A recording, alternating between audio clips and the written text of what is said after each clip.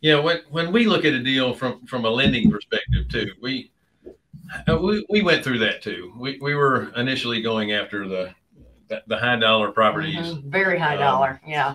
and because let's face it, you're getting the same money on on less work Yeah, when it when it comes to lending. Uh, but your exit strategies uh, are fewer and you know farther between. If it doesn't Mhm. work out, uh, Plan A, then Plan B and C is not uh, a good alternative, Mhm. and and that's why we've focused in on uh, the income producing properties and the uh, affordable housing on the on the single family stuff because we know that worst case scenario, if we end up owning all these properties, we can still uh, get what our expected return would be on a Mhm. loan in rents until the markets come back up. And we know, we always know that uh, they will come back up. Uh, For- if, we- if we own them, it's because everyone's a seller and no one's a buyer. Yeah. And if Yeah. that's the case, then, uh, you know, certainly we can still make an income on them until then. right. Well, and that's you know that's a really important thing. A lot of people don't look at that. They have multiple exit strategies. You know what I mean? Where you're looking at that very thing where you okay, hey, I can make the loan, it's all good, but if I needed to, I can operate it and rent it, and it's still all good. Um, you know, and and that's something like even in our single family business, you know, probably in 2015 we shifted gears to focus exclusively on you know this market at the time was like sub 250 houses now it's probably ticked up to you know 350 kind of thing as retail mm-hmm. value.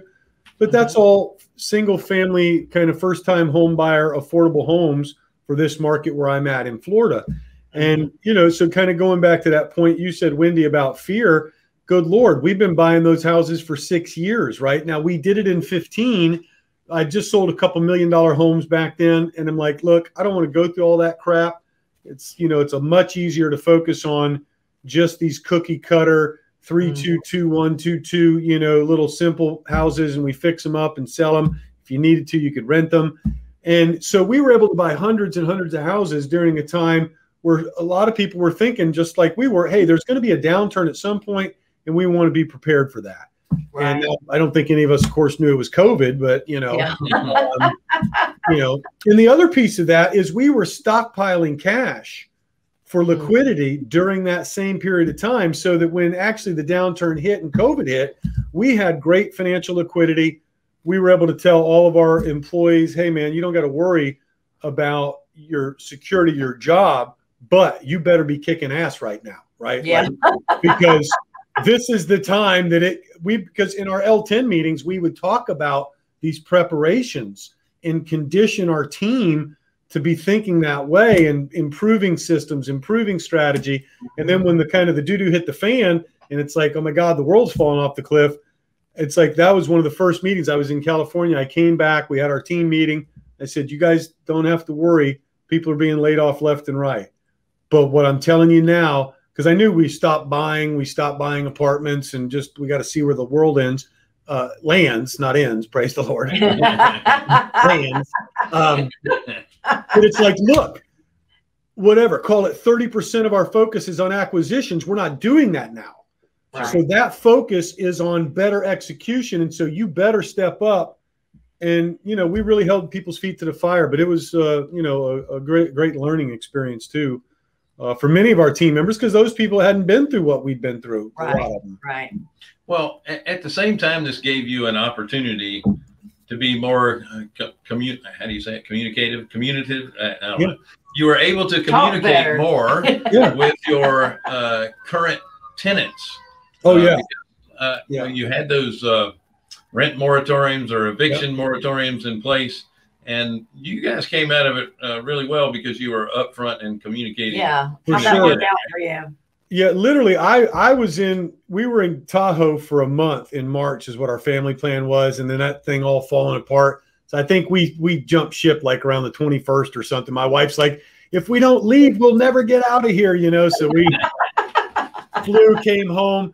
But ex- that's exactly what I did. As soon as I got back, our first meeting, we huddled all of our regional managers, all of our property managers, all of our property management company partners on a huddle call and really kind of broke down. We went into this like kind of coaching mode. And exactly what you just said, Bill, we had all of our properties had like at the ready texts with the unemployment office for that state, the local list of charities that would provide, you know, food help and whether it's the Baptist Union or the, you know, whatever, Red Cross or, you know, whoever was providing help. We had that listed. And then we actually did weekly coaching calls with our, um, you know, on sites to provide that kind of input to the tenants. And so we really did have a, a better result where, you know, even though maybe somebody got laid off from their job, as many, many did, there was at least communication and, and a willingness to work together. And that helped where, you know, we just didn't have giant onslaughts of rent strike kind of thing. You know, it's like, Right. you know, mo- and also most of our people, it goes to operations. We've done a good job to screen the people. Now, sometimes we just bought a property, so you inherited some bad seed. But right. most of our people we've screened them and they're just decent working people that want to provide a roof for their family and you know yeah they got laid off from the you know manufacturing plant and we tried to work with them help them file for unemployment benefits or help them connect with the charity for food assistance. And you know so that engendered a lot of respect. And i think if you treat people like a human being that helps in that you know dialogue and it helps Right. with the result you know. So definitely not an easy time though. I mean you know just i don't think it's easy for anybody. We had to go through a lot of kind of ups and downs and government garbage and just all that stuff Yeah, we did as well. But I, I tell you, we came out a much more efficient business on, on the other end of it. Mhm. Fortunately, um, again, we have mentors, friends. We were prepared. We had a blueprint uh, for just in case. And it, uh, I didn't think it would be put into action that soon, but Yeah. for sure yeah Literally had, had yeah a blueprint put in place, literally, what, at less than 45 days prior to this happening. So when it happened, we knew exactly what we needed to do and it, Yeah. it worked out, worked out really great.